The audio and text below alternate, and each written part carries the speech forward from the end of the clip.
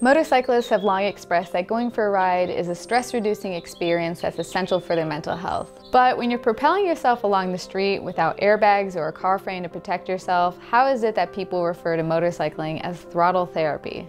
Moto enthusiasts cite lots of aspects about riding that are stress reducing, but I theorize that one of the strongest factors is the very stance you assume when you get on a motorcycle. Riding a bike forces you into an open and strong posture. It is impossible to do it with your arms crossed or with other closed body language. Scientists have long studied the connection between the mind and body, and more recently have cited that the mind can follow suit and change our internal chemistry according to physical cues. Thanks to recent innovations in neuroscience, we can now rigorously measure these effects on the brain. This is the basis of social psychologist Amy Cuddy's book Presence, where she advocates for the instant hormonal balancing qualities of power posing. Adopting a powerful and competent stance, like you're obligated to do while riding a motorcycle, triggers the brain to reduce the production of cortisol and increase the production of testosterone. Cortisol is the hormone related most closely to stress and anxiety. Appropriate levels of cortisol land someone in the optimal performance zone, homing in on focus, reaction time, decision making, and precision. And as motorcyclists, we all know how life saving being at peak performance and alertness can be. While power posing contributes to stress relief, you don't want to be completely worry free in a time when you need to perform. Hence the need for balance, in more ways than one in our case. According to a Travis Bradberry article on Forbes, our brains are hardwired such that it's difficult to take action until we feel some level of anxiety.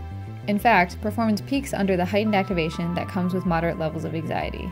If one is too relaxed, you're at risk of inattention and boredom, and if you're too anxious, you can become too reactive and chaotic. On a motorcycle, this can lead to dire consequences. The power pose of a motorcycle is the perfect balance between these two extremes, which ultimately conjures the focus necessary to operate the bike on the road. Your open posture places you physically above the controls, and more often than not, riders are in a fully upright or more aggressive forward lean. It's comfortable enough to maintain for long periods of time, but not so comfortable that you're lulled into full relaxation. This correlation between stress reduction, peak performance, and riding is further supported by the Harley Davidson funded neurobiological study conducted by a small team of researchers at UCLA.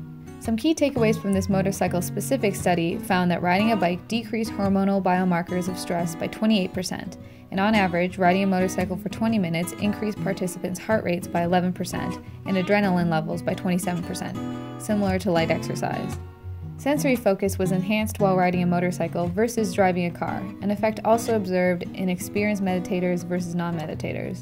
Changes in study participants' brain activity while riding suggested an increase in alertness similar to drinking a cup of coffee. While there's likely a variety of factors affecting these results, I'd venture to guess that the power pose of riding puts a motorcyclist in the optimal stance to receive the benefits of both stress reduction and alertness. These neurological benefits are similar to those derived from yoga, meditation, and like the study cited, light exercise. So if you want to stay sharp while you unwind, taking your bike for a spin at the end of a long day is a perfect way to get centered. It's worth noting that the study was of healthy, experienced adults riding their own motorcycles on a designated 22 minute route under normal conditions. There's no doubt that being an inexperienced rider, being in unideal conditions, or in unfamiliar surroundings can result in an increased stress response. Thank you so much for watching my video. If you like what you saw, please subscribe to my channel and give it a thumbs up. Being the type of person interested in meditation and motorcycles, you should check out my new collection on Great Lakes Supply Co. It's inspired by visibility and the zen of motorcycle riding, featuring the Watch for Cycles Third Eye, designed by me. Go to greatlakesupplyco.com to shop now and use the code STARK10 for 10% off your first order. Thanks again and ride safe.